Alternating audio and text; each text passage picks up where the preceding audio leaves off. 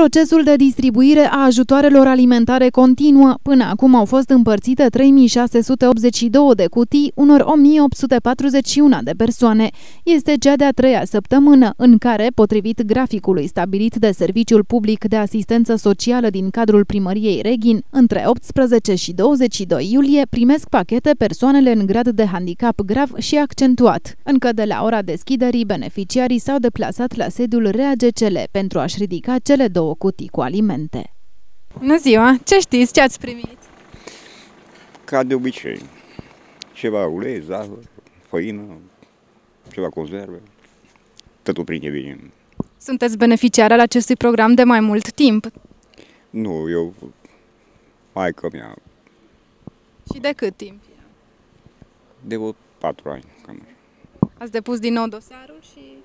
Da, merg. De unde știați că trebuie să veniți în această Am perioadă? anunțat pe cine. Ați primit și dumneavoastră. Da, Știți? ea, Poftim? soția l-a primit, e dusă la medic. Și în fiecare an? Da, Și știți ce ați primit anul acesta? numai am primit. Nu știți cam ce alimente. Da, apoi nu mai se minte. Ce? Zahăr, conserve, mălai. Cine este beneficiarul dumneavoastră? sau?